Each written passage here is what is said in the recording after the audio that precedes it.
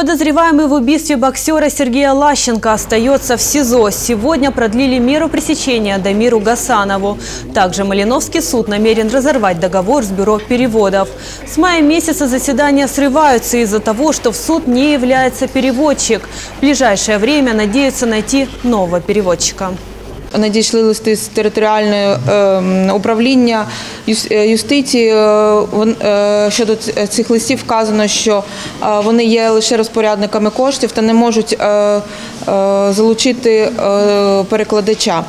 Е, У зв'язку з цим е, судом буде направлено до е, Державної судової адміністрації України лист щодо того, що головне територіальне управління самоусунулось від допомоги суду щодо залучення перекладача, а також буде направлено лист до територіального територіальної судової адміністрації, якою е, будуть ініціювати питання щодо розірвання договору з бюро перекладів, з яким е, укладений е, договір у зв'язку з тим, що перекладач не приходить до судового засідання.